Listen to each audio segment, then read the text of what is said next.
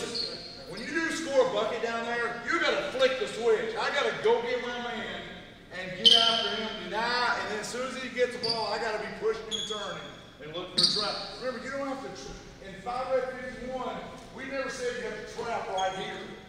It can be the first pass across half court because they have, they've done a good job. You don't want to just run right into a trap when you're looking at you because what a good point guard going to do.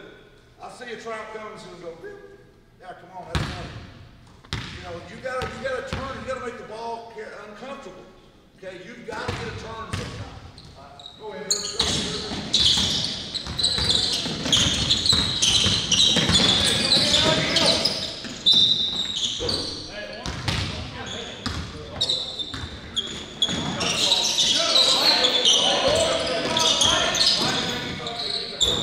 Hey, hey, listen.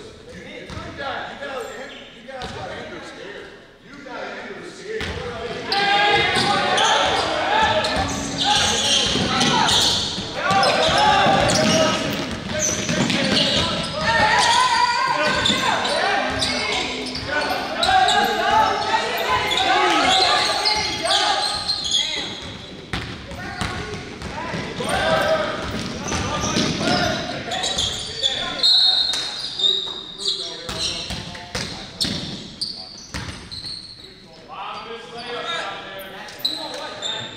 Arthur, no body out down there.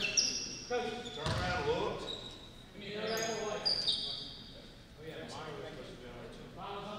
Hey, get into it. Come on. Come on, come on. Or watch it. Right there. White,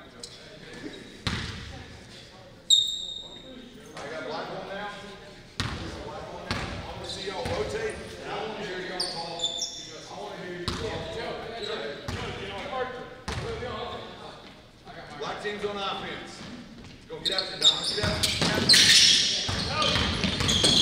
I mean, Jay did the wor- worst thing you can do. Guys, this is five red fifty-one. Do you really have a man in transition? He pulled the ball up and you ran right past him looking at it. You should have been all over. You ever hear me say the best thing to do in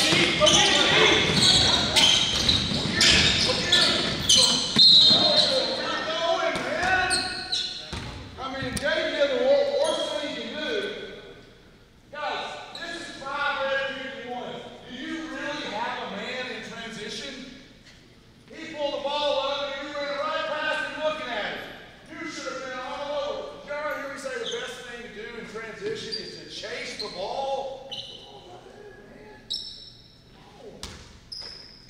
Black team going down. Black team going down. Come on.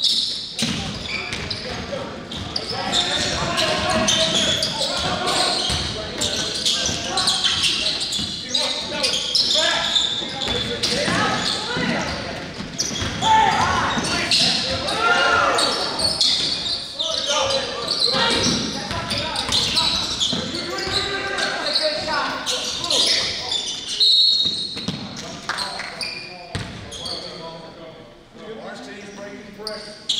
Orange team's breaking the pressure.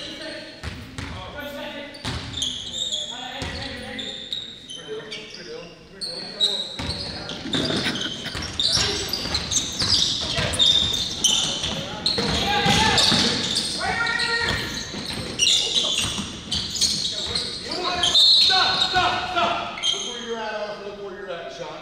Who, who was it drove baseline there? Who was that? Nick. Nick drove the baseline. Arthur, you're standing on the block, and Sean, you're standing right there. If the, if the ball goes to the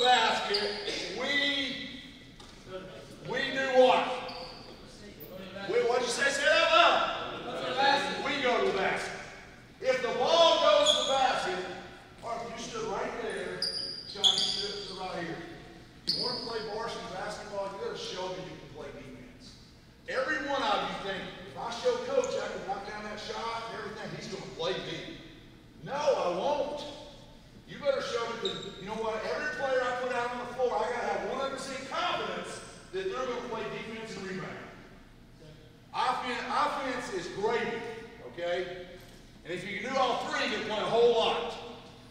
But that's a perfect example right there. The ball went in the basket, y'all shoot it there once. Really, and this lineup, two of biggest player called us along the